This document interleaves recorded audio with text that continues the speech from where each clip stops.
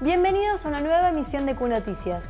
En el programa de hoy vamos a mostrarte la entrega del título Doctora Honoris Causa de Nillo de LED, el primer simposio latinoamericano en gestión de emprendimientos turísticos y la capacitación de accesibilidad académica. Así comenzamos con el programa de hoy.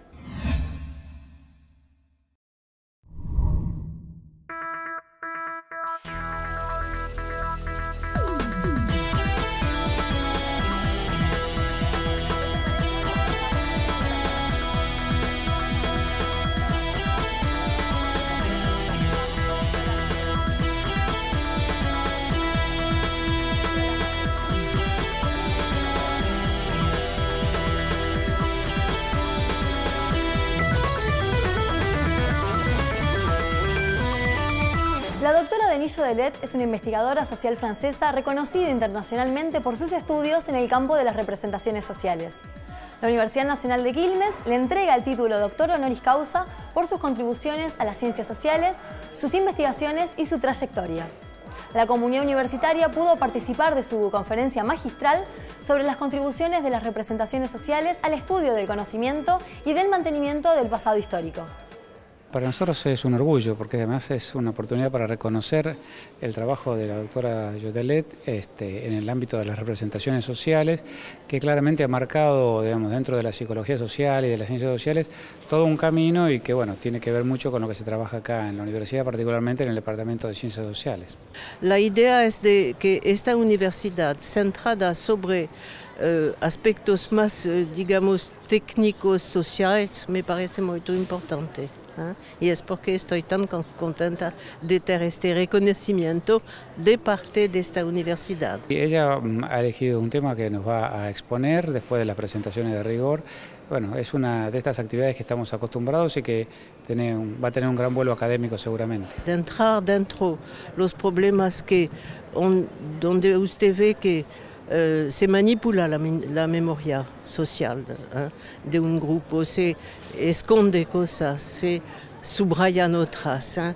Hay todo un trabajo uh, intelectual y político sobre la memoria y encuentro que es muy importante de tratar de eso. Creemos que tiene los antecedentes tanto en el ámbito académico como con sus posicionamientos sociales y políticos como para que la Universidad de Quilmes pueda otorgarle el doctorado y por suerte aceptó. Para mí es eh, tener una ligación, eh, eh, como dice, eh, una ligación eh, intelectual ¿eh? y funcional con la universidad. Está reconocido como miembro de la universidad. ¿eh? y uh, couronner, ¿cómo se puede decir? Da, dar una, un acabamiento a, a años de colaboración que he tenido con las diferentes personas. El Consejo Superior de la Universidad Nacional de Quilmes resuelve otorgar el título Doctor Honoris Causa de la Universidad Nacional de Quilmes a la doctora Denillo Delet.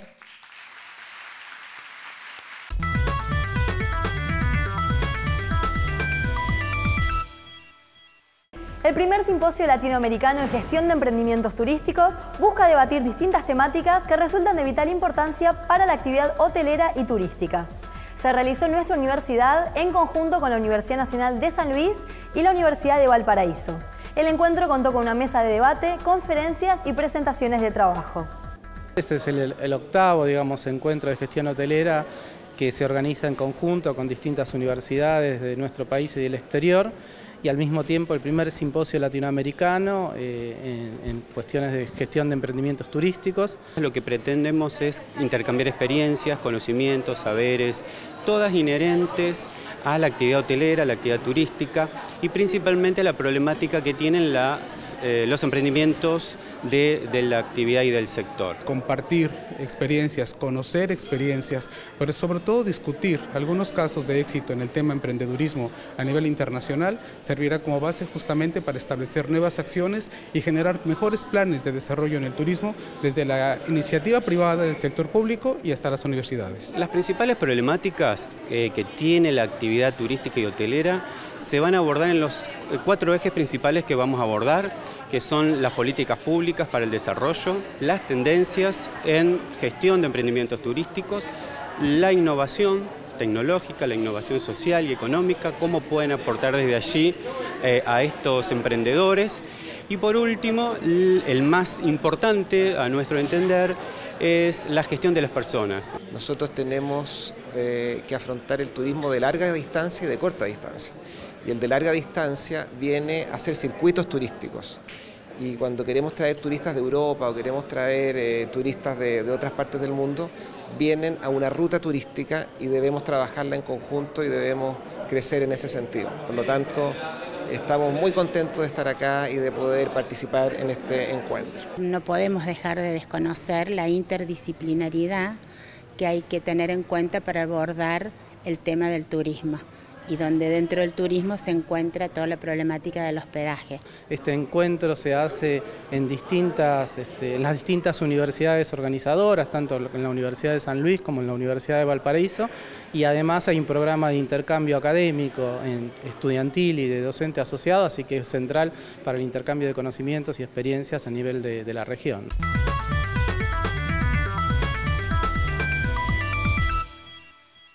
La capacitación Universidad Inclusiva promueve la accesibilidad académica y contribuye a la implementación de estrategias orientadas a generar condiciones óptimas para los estudiantes con discapacidad. Esta jornada, organizada por la División de Salud y Discapacidad de nuestra universidad, es destinada principalmente a docentes y actores involucrados en la enseñanza universitaria. Es una avanzada que nuestras universidades nacionales y en particular la Universidad Nacional de Quilmes esté ofreciendo esta capacitación a la propia universidad y al medio sobre accesibilidad, en realidad sobre universidad inclusiva. La temática específica es accesibilidad académica, eh, vamos a abordar diferentes temáticas, pero sobre todo sobre la Ley de Educación Nacional de Educación Superior, que habla de los ajustes razonables que debemos pensar al interior de nuestras universidades para mejorar la calidad de inclusión de las personas con discapacidad. La universidad pública es para todos y todas los ciudadanos que vivimos en este país y como sujetos de derecho que somos tenemos derecho a estudiar en una universidad pública haya o no haya una discapacidad, digamos, al margen de cualquier condición o condicionamiento. La universidad tiene que tener las puertas abiertas para todas las personas que quieran estudiar y creo que es nuestro deber garantizarlo. La mayor importancia es que este programa está este, marcado en la Secretaría de Políticas Universitarias, un proyecto que fue aprobado por el Ministerio y específicamente este proyecto fue financiado en donde llevamos a cabo varias actividades que de manera transversal fuimos trabajando con varias áreas, el área de arte, el área de cultura, el área de idiomas, el área que podemos llegar con todos aquellos docentes que vienen trabajando en este proceso de la inclusión. Y el objetivo fundamental de la comisión es tareas que tengan que ver con la sensibilización y con la concientización. Y por otro lado también se hace un trabajo desde la Secretaría en contactar a aquellas personas que se inscriben para estudiar una carrera eh, y que marcan, que eligen o, digamos que optan por la opción de que tienen algún tipo de discapacidad, ponernos en contacto personalizadamente para conocer cuáles son las condiciones de accesibilidad para realmente garantizar ese derecho. Se trabajan los distintos aspectos que atienden a la accesibilidad académica, que es el mayor desafío, formar a los docentes para entender que dentro de la diversidad está el alumno con discapacidad, pero no es más que implementar algunas estrategias y darle marco a las leyes que nos rigen, concretamente la ley de, eh, de los derechos de las personas con discapacidad para nuestra universidad. La verdad que es eh, muy importante el poder llevar a cabo un proyecto aprobado por el Ministerio y este, apoyado por la Secretaría de Políticas Universitarias.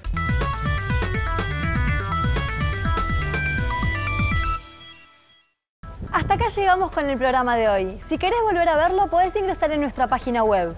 También seguirnos por nuestras redes sociales. Además, podés encontrarnos en el campus virtual de la modalidad de estudios a distancia de nuestra universidad. Nosotros volvemos a encontrarnos la próxima semana.